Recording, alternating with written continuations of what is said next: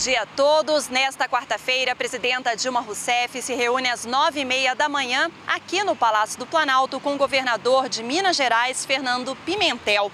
Às dez e quarenta e cinco, a presidenta vai receber o governador do estado do Rio de Janeiro, Fernando Pezão. E ao meio-dia e trinta, ela vai viajar para Costa Rica.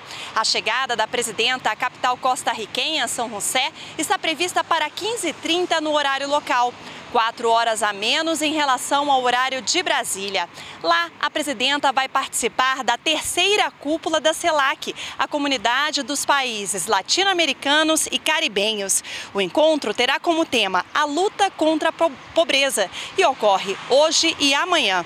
De acordo com o Ministério das Relações Exteriores, a presidenta vai apresentar as políticas sociais brasileiras e que nos últimos anos tiraram milhões de pessoas da extrema pobreza no país e excluíram o Brasil do mapa mundial da fome.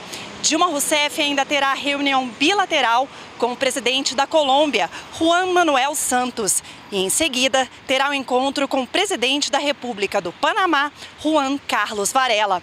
À noite, a presidenta vai participar do jantar em homenagem aos chefes de Estado, oferecido pelo presidente da Costa Rica, Luiz Guilhermo Rivera. A presidenta dorme em São José e participa amanhã do segundo dia da CELAC.